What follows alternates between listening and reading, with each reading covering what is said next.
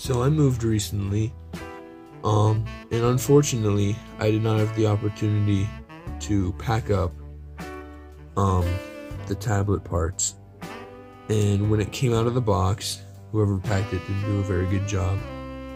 And the screen has a large crack on it. Um, a lot of damage. There's glass shards falling off the bottom.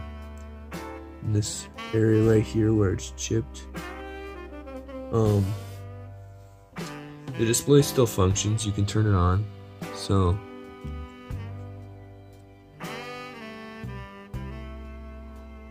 and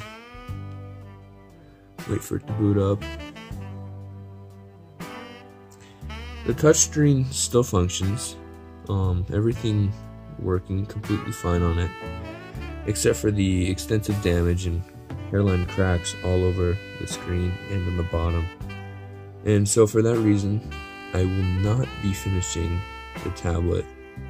Um, that and other reasons, but while the display functions, it won't make a good tablet anymore. And I really wanted to have something nice um, as a finished product. And while I could still do fun stuff with the screen, it's no longer tablet material. So I will not be making the tablet anymore.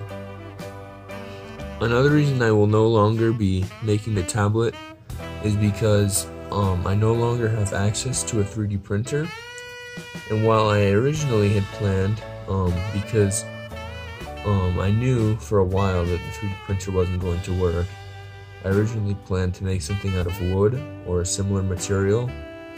Um, the addition of the screen complications means that I will no longer continue to make the tablet. Um, but everything was set to work. Um, the tablet if it had not broken, um, I would still be continuing to make it. The problem is the screen is $70 and I don't really have the money and I don't want to pay for another one. Um, it's not worth it to me. So I'm no longer making the tablet. However, that's not going to stop me from making more Raspberry Pi stuff. I'm very interested in making a smart speaker with Amazon Alexa because that now eh, or or Google Assistant because I know Google Assistant now runs on Raspberry Pis. So hopefully I'll be able to make something in the not so distant future. However, because of the move and complications with that, um, don't expect anything frequently or too soon because you know, there's a lot of stuff still going on that the tablet is not my priority. The Raspberry Pi is not my priority.